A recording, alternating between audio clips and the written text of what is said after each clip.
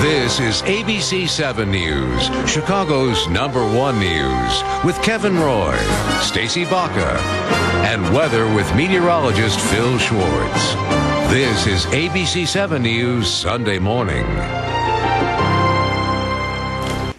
More and more businesses, and we're not talking just fast food, are expanding their operations with drive through services. This is certainly a challenge for customers who are deaf and hard of hearing, but there is a solution, and ABC 7's Karen Meyer joins us with more on this story. Good morning, Karen. Good morning, Stacy and Kevin.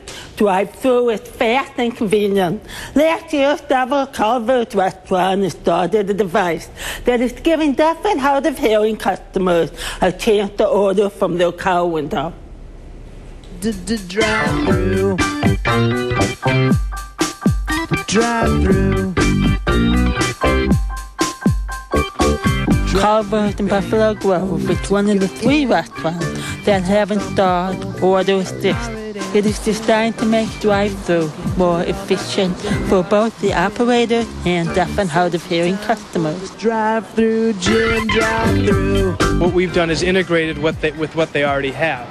Order Assist was created by Patrick Hughes, president of Chicago-based Inclusion Solutions. The customer pulls up and simply rings the bell to let the staff that rings inside. The staff now knows that the person out here is struggling with the speaker, and then they pull forward, and then they, they're handed a pen, paper, and a, and a to-go menu. Drive-through. After filling out the order, the staff will prepare the food and off they go.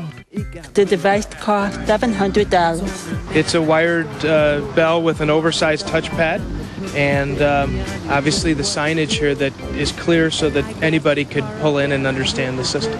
Culver's is the only drive-through restaurant that is currently used in the system. We're focused on Culver's right now. I hit the drive-through. Kevin Wiesler is the owner of this restaurant. We had had a number of deaf and hard hearing customers coming into the store uh, on a regular basis. Not a lot of them, but a lot of the same ones. They always came on the inside. The system has been installed, it has made things better. I think it's uh, very easy to use, and you know, a good percentage of our business goes to the drive-through. So it, it makes a lot of sense to me that we should make it as accessible as possible to everybody. I hit the d- d- drive-through. Kevin Ryan is a happier customer. This is the first time I've been able to use this device to order. I punch the button, they give me a piece of paper, I write down what I want to order, they write down how much the money will cost to order it, and then it'll work out.